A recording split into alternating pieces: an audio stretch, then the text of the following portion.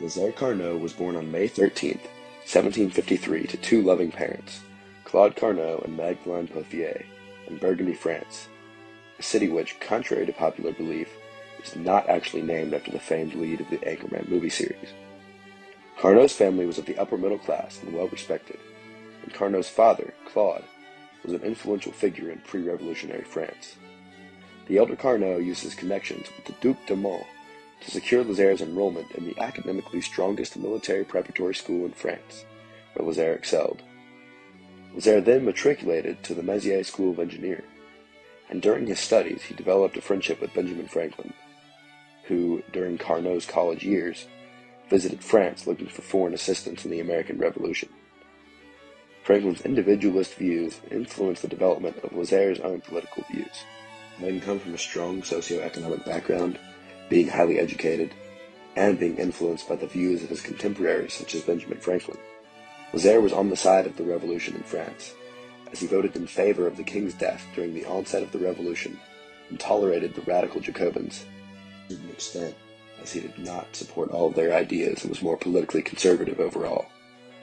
Being elected to the Committee of War, the Committee of General Defense, and the Committee of Public Safety, Lazare was in a position to greatly benefit the revolutionary cause.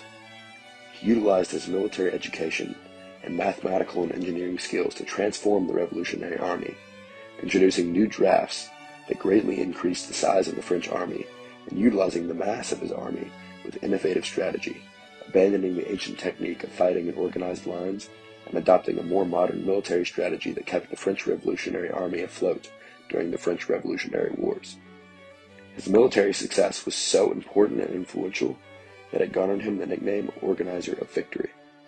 Politically, Lazare was an effective advocate for what he believed in, courageously fighting for the cause of the revolution and against tyranny in the form of the king, the Jacobins, and later Napoleon.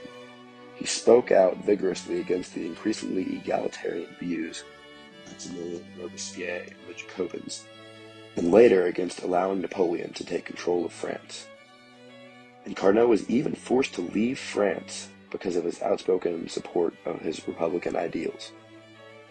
Lazare Carnot was arguably the most influential military figure during the French Revolution, as his promotion of conscription and use of modern military tactics led to French victory in Revolutionary Wars. And he courageously spoke out against tyranny to such an extent that it even endangered his own life. Carnot was an excellent example of an educated man using his gifts to benefit his people and advocate for what he thought was right during an important time in his country's history.